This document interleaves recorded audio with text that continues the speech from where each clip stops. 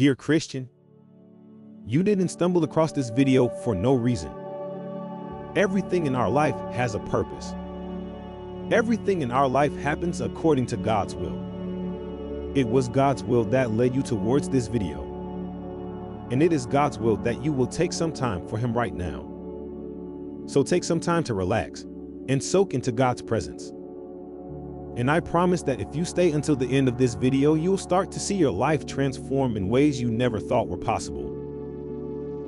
You may have come across this video because you are struggling right now.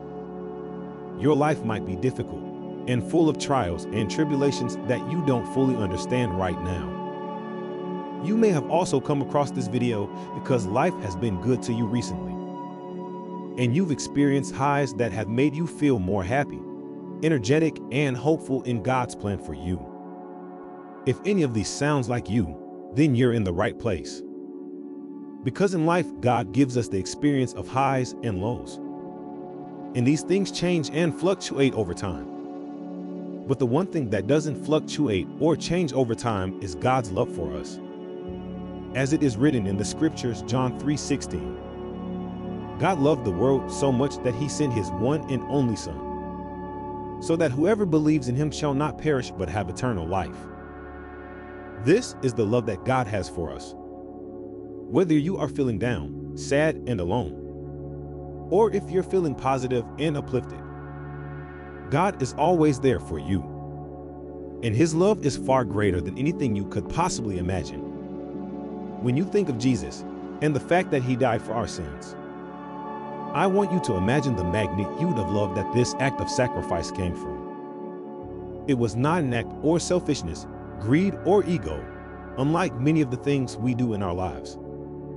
It was an act of pure sacrifice in the name of God's love for you. As you go about your day to day, I want you to remember that everything you have in your life is God's doing. As the Bible says in 1 Peter 5 6, Humble yourselves, therefore, under God's mighty hand, that he may lift you up in due time. God is mighty, and he is responsible for everything in your life. Every trial and tribulation that you have faced is because God knows you are strong enough to handle it. You are strong enough to handle it, learn from it, and grow and flourish into something even more beautiful because of it. Trials and tribulations are not given to those who are weak. They are given to those who are the strongest and have the strength to get through them and out the other side. And when God blesses our lives, we should thank Him. For everything that is given to us is given through God's mighty hand. Every great relationship that you have had, every success or accomplishment that you have achieved, has happened because God saw that you were deserving of such a blessing. And if you think that those tiny little successes and good times are something special, just wait until you see the mighty power that God holds and the love He has for you.